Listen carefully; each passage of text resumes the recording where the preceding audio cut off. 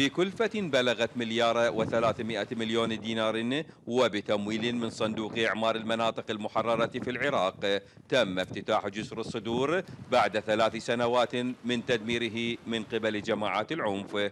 الإدارة المحلية لمحافظة ديالى تحدثت عن خراب كبير أصاب أغلب المنشآت الحيوية وبسبب الأزمة المالية فقد اعتمدت كثيرا على المنحة الدولية لإعادة الإعمار. وتمويل من صندوق إعادة إعمار المناطق المحررة وبإشراف دائرة الطرق والجسور.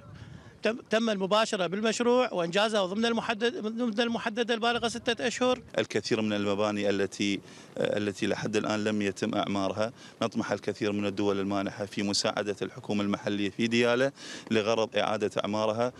وزارة الإعمار والإسكان ومن خلال شركة المعتصم الحكومية هي التي أعادت إعمار الجسر رغم الصعوبات وتعقيدات العمل.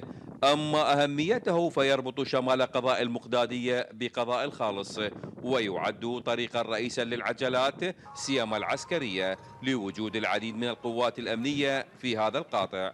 الفقرات اللي أنجزتها شركة المعتصم هي تكسير هذه الفضاءات المتضررة وإبدالها بروافد كونكريتية بطول 24 متر وبارتفاع متر 20 وبعدد 18 رافدة. وراح يقل الزخم على الشارع القديم اللي هو ما مبلط شارع نوفل السده. قيادة عمليات دجلة ومن خلال قوات الفرقة الخامسة للجيش العراقي أمنت المنطقة تماما فيما أسهمت المنحة الدولية بإعمار سبعة جسور أخرى. إضافة إلى افتتاح هذا الجسر فتم افتتاح سبعة ستة جسور سابقا وهو جسري الهارونية القديم والجديد وجسري إمام ويس السابع والرابع وجسري نارين الكونكريتي والحديدي. من جسر الصدور بقضاء المقدادية شمال شرق مدينة بعقوبة هادي العنبقي الحرة.